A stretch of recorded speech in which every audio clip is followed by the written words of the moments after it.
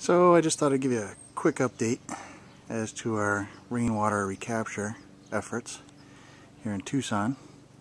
The last week we've had about uh, three afternoon thunderstorms and I'm just recapturing rain from just this one side of the garage here. Uh, just that roof section and off of the house just this short little roof section here and this little roof section the gutter is actually got to be replaced. I just haven't had a chance to replace it yet because it actually misses a lot of the rainwater that comes flowing off of the roof. Um, and just in those three little afternoon rainstorms, the first flush system has worked pretty well. The water is clean enough for the garden anyway. This is uh, this is what we've managed to capture so far three little afternoon rainstorms. The water just coming off of there, going into the first flush, and coming through this pipe, down into the top of this tank.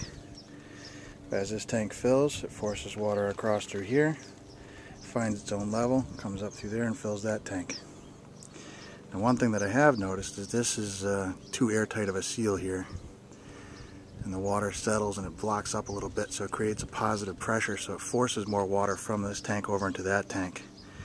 So in order to rectify that I think what I'm going to do is this piece up here at the top I'm actually going to make this into a T and run a piece of pipe up a little bit higher to provide a vent so that the vent the air can come out so it doesn't create positive pressure in this tank and force the water over to the other side.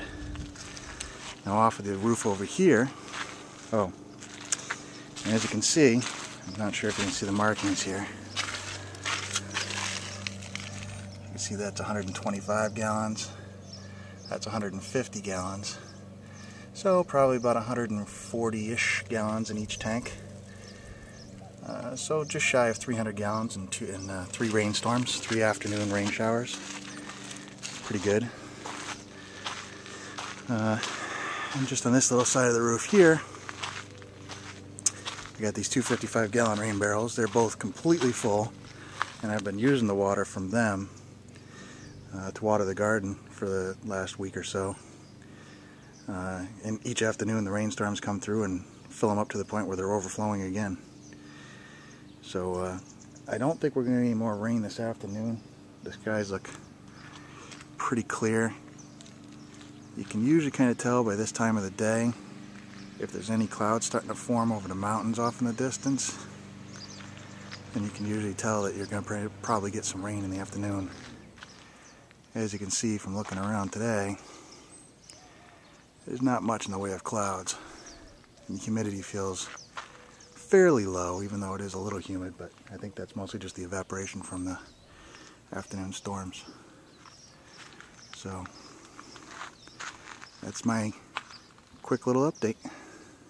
I'll let you know and I'll show you more as I make any other changes. Thanks.